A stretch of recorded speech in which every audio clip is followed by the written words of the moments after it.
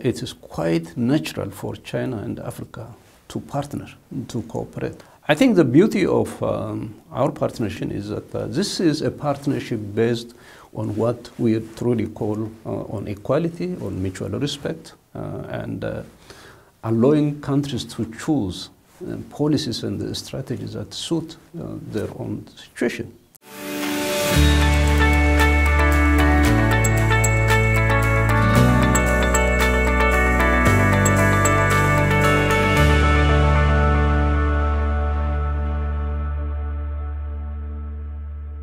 Welcome to CCG Ambassador Dialogues. So I'm very pleased today to uh, present uh, Ambassador Tesh Mon uh, Chanaka, Your Excellency from Ethiopia. So Ambassador uh, Chanaka, welcome to CCG. Mm. Thank you very much, uh, Dr. Wang, for hang, having me for uh, this uh, ambassadors dialogue at CCG. As we all know that uh, you know, uh, China African are really strong uh, partners, and uh, we just had a, forecast last year, a very successful China African Cooperation Forum. And Ethiopia is the uh, one of the last, largest trading partner from Africa with China. So, so what's your impression in general about uh, your, your experience in China and your overview of China-African, China-Ethiopia cooperation? Thank you, uh, Dr. Wang, again. And um, yes, I have been uh, in Beijing for the last three years, and uh, I have been asked about my impression uh, about this country. Uh, I think there are um, areas of civilization, culture, history, diversity, this and that, but uh, the most single impression I carry with me always about China is its transformation in the last 45 years in the history of uh, human development, I think this country has achieved uh, a phenomenal uh, transformation uh, in just four decades. Africa has more again to offer because um, this has uh, uh, this continent has untapped, huge natural resources. apart from the population size, we have youngest population actually in the world is in, in, in Africa. So I say that uh, it is quite natural for China and Africa to partner, to cooperate, to work with. No serious country can avoid China, no serious uh, country can avoid the continent of Africa. China has taken major infrastructure project in Ethiopia, and that project, because the way we defined it actually has been contributing not only in creating infrastructure but also in alleviating poverty. Uh, and then, of course, we have investment from China, we have trade with China, we have technology transfer, we have uh, financing cooperation uh, with, uh, with China. So this is uh, a partnership benefiting both sides. Uh, when Chinese companies invest in Ethiopia, in Africa, the first thing they do is they create job for our young people. They boost our capacity uh, and productivity. They uh, increase our uh, export. export means earning foreign currency that we need. Uh, it is technology transfer uh, and uh, it is also building capacity. The cooperation with China, for instance, if you take with Ethiopia, it is not only limited to industrialization, to trade, but we also cooperate in digital economy, in technology transfer.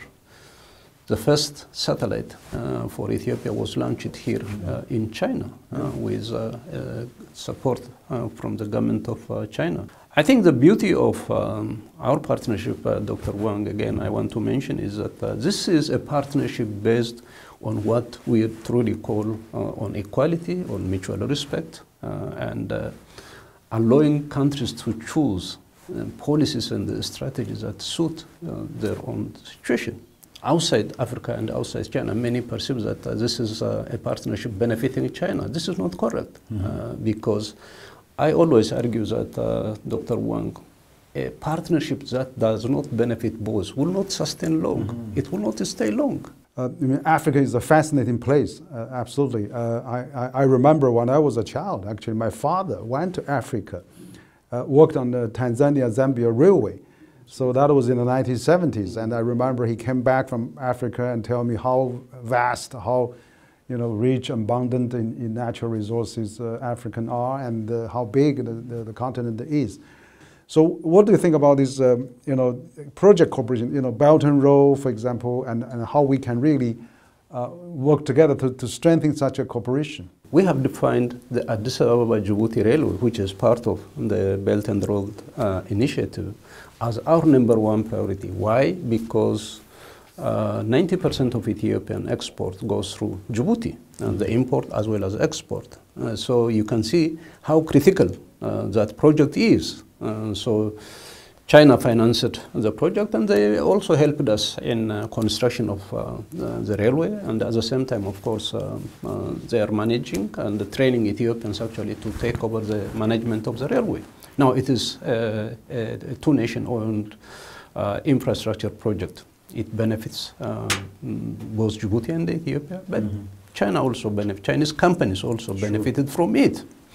Secondly, let me also take another important um, Belt and Road uh, projects like the industrial parks. Uh, these are uh, basis for industrialization. And it made us uh, competitive uh, in terms of attracting investment because the service is one center and uh, every infrastructure necessary is put in one place. so uh, you can see that it, it, it makes Ethiopia a competitive, uh, um, attractive uh, for uh, foreign direct investment. Mm -hmm. Now, we know how much digital economy is now contributing to Chinese recovery, uh, and uh, we are just starting.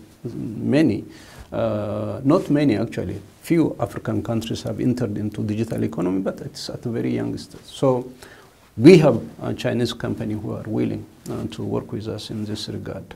So it is a sort of what we call win-win situation yes. uh, for both the Chinese enterprises as well as uh, for African countries. Mm -hmm. Countries like Rwanda, countries like Ethiopia, uh, and I think few other countries, uh, Tanzania, mm -hmm. all are entering into digital economy. and for your information, I promoted one Ethiopian uh, coffee trading uh, brand in mm. Shanghai on oh. online, yes. Uh, and uh, in five seconds we sold 11,000 bags of Ethiopian coffee. Oh, in, five right? five in five seconds. seconds five yeah. seconds. Yes, yes. Yeah, I mean, uh, this is totally un unthinkable yes. in, in the past. Uh, yes. So we can see the miracle of uh, uh, e-commerce, digital economy, mm. and we have understood, uh, I think, the importance and significance of uh, such an infrastructure. I think the opportunity is there. we have challenges here and there, but again, my um, my thinking is that you can have challenges. And in every cooperation, you have a challenge. The best way is to continue and to do more cooperation, uh, not less. Uh, and I think both sides uh, have uh, stakes now. And you gave uh, many uh, good stories, like you talk about. you know, there's there's a private sector also involvement. We actually know that there's a company called Huajian. Yeah, Huajian, yeah, you know, yeah, yeah. President Zhang. I mean, he actually invested in yes. Africans through industrial parks uh, has one of the biggest shoe manufacturing there and then helps the uh, Ethiopia export. There are several private sector actually, mm. textile, mm. shoe factories uh, and uh, pharmaceuticals uh, sure, who sure. are working in Ethiopia. Mm. It's a huge contribution, as I said, job creation for us. Mm. like that one company has created job for 8,000 Ethiopians. -hmm. It's not only creating job, it's supporting, you know, if you take an average family in Ethiopia is, um, has five members.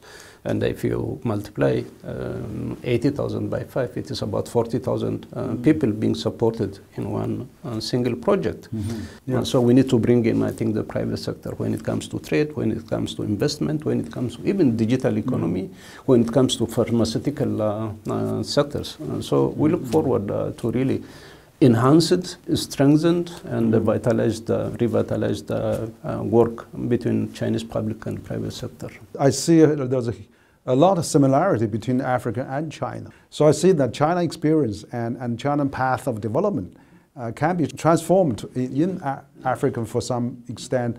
But of course, you, you know, there's, a, there's, a, there's, there's some criticism on that. You know, say, oh, China is doing the, the debt trap or yeah, so, so which, which I think is not, not, not true. loan is not something that is imposed on any country. Mhm. Let me say that very clearly. I can talk for uh, my own country. Mhm. Uh, loan is not imposed, or debt is not imposed on us. Mhm. But there is a, a structural problem where debt is accumulated. Uh, so we come and ask uh, for loan ourselves. We have uh, borrowed 4 billion US dollars for the railway project between uh, Egypt, I mean, uh, Djibouti and uh, Ethiopia. Mm. And uh, it is worth an investment. We needed it. Mhm. So we come and ask China for a loan because, for that matter, there was no other country willing to uh, finance that project. Uh, and uh, it's, I think, the case with most, most of the countries that borrow money now. And uh, of course, the problem with the debt trap concept, I don't know why, when it comes to loan from China, that uh, it becomes a debt trap, and then when it comes loan from other sources. The problem is that with some infrastructure projects, I think, because of capacity problem, because of, I think, technological problem, because of management problems, Mhm. most of the projects do not mature or uh, complete in time, and then the debt matures. Uh, and then, in order to pay the debt, you get another loan, and then uh, it, it, it ends up in what we call uh, debt accumulation. I think the, the best way, again, is to sit down and address the critical uh, bottleneck, structural bottleneck that is facing, I think, uh, the debtor countries, and then that is exactly what we are trying to do. Uh, but um, to really uh, discuss and then uh, create this perception that uh, getting loan from China uh, uh, puts African countries into debt trap, and then uh, mm, African countries should not borrow money from China. And no, I think that's not the fair approach. It's not even helpful for Africa. No. It's not helpful for Africa, I think. Yeah. The best way for uh, China and Africa, I think, the way forward is that uh, we are already in it. We need to sit down and discuss and find a solution. And I think that is the right track uh, to go, and that is precisely what we are doing now. Now I understand there, the, you know, in Ethiopia there are some civil uh, conflicts. Uh, you know, there there's some some uh, northern part there's some uh, unstable situation, and, and so what what what has been going on probably is having the concern of Ethiopia and people outside Ethiopia. Perhaps uh, you could give a bit of a explanation of what's going on there. The conflict uh, actually started in northern part of Ethiopia, and uh, uh, of course, there there is background, political background to it. Uh, we had uh, differences uh, with the party that is ruling the northern part of Ethiopia, called Tigray region, and then and uh, we have the federal government. We had uh, political differences, and uh, we have opted uh, for dialogue to resolve political problems uh, to give it a political solution. Unfortunately, the force uh, in northern part of Ethiopia uh, opted for military means, uh, and uh, they attacked our uh, one of our uh, command forces. Uh, we introduced uh, um, um, law enforcement operation in that part of the country. Uh, we actually succeeded in doing, but uh, when we moved our military out of that region, then they regrouped themselves and they came and attacked and extended the war to other two regions. Uh, but uh, now they are again pushed back uh, to uh, the region, and uh, we have uh, a number of issues actually there. One is uh, the government of Ethiopia again declared a humanitarian truce so that uh, humanitarian assistance goes to the needy in northern part of Ethiopia unfettered, uh, unimpeded. Uh, currently, there is no ongoing uh, sort of uh, uh, uh, conflict uh, as used to be. Uh, but um, the problem is that uh, forces, uh, there are some uh, two armed groups which are trying uh, to undermine the ongoing uh, process. But as a government, we are trying our level best so that the national dialogue succeeds, and then any issue under the sun is brought to the table, and so that we discuss. Of course, we have to set a priority, whether it is change of constitution, whether it is change of uh, governance, whether it is, uh, you know, uh, everything should be done uh, through dialogue. Uh, and we have uh, an ongoing AU effort, we, to which Ethiopia has given its support. And that's where we, we are in terms of the political process in the country. Of course, the economy has been hit hard by both the pandemic as well as uh, Mhm. the c- conflict in the northern part of Ethiopia has affected. Uh, yes, we have uh, currently a challenge, but we hope that we will overcome. Uh, we need wisdom, uh, we need uh, unity uh, of purpose. Uh, we really need uh, to uh, join hands uh, with the leadership of uh, Prime Minister Abiy so that uh, uh, we can enhance uh, the efforts that uh, we have uh, already launched. Particularly, we make sure that we positively contribute uh, and be involved in the national dialogue process. If we have limitations here and there, uh, then we just participate and try to, uh, you know, uh, make our own contribution in a very constructive way, in a very uh, future-looking way. Uh, we cannot really uh, get stuck in our past.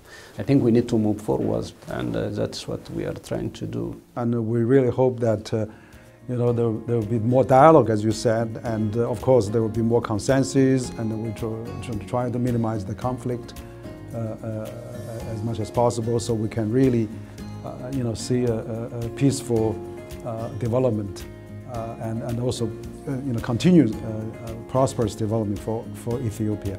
And, uh, and we all come to the conclusion there will be enormous opportunities, potentials, and uh, uh, cooperation in, between China and African countries and Ethiopia. And uh, so, so once again, thank you, uh, Ambassador, for your insights, and you. thank you for coming to CCG. Thank you. And we hope to see you again. Thank, thank you you very much. Thank you. Thank you. Thank you. Thank you. Thank you. Thank you for having me.